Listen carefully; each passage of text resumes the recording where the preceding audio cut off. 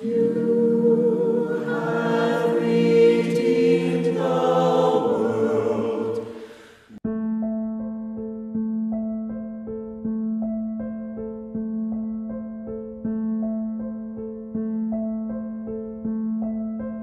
Father, thank you that nothing is impossible for you. Hear my prayer for a miracle. Fill me with faith that you can answer. What seems impossible to me is within your power. When I can't think of a solution, you are still able to act.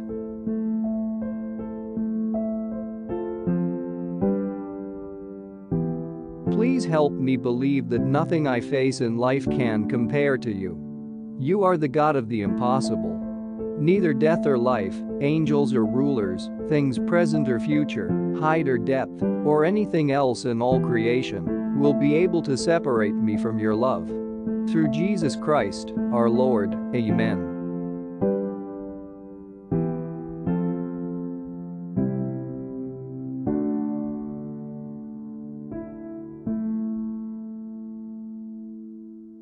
Remember, God is always with you.